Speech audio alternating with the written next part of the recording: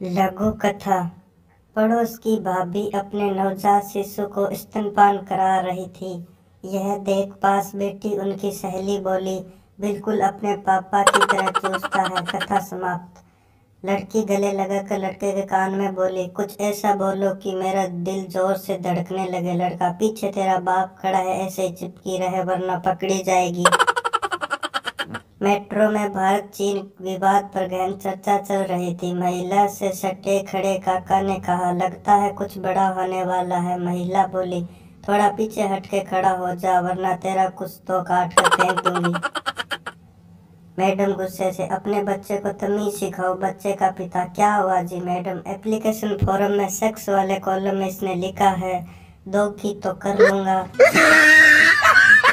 Girlfriend पानी वाला गुब्बारा मत फेंकना, मैं गिल्ली हो जाऊँगी, पप्पू। अच्छा और खुद जब टाइट टी शर्ट पहनकर गुब्बारे दिखाती है, तब सोचा है कि हम कितने गिल्ले होते होंगे। लड़की की शादी में उसका पुराना बॉयफ्रेंड भी सज धज के आया था।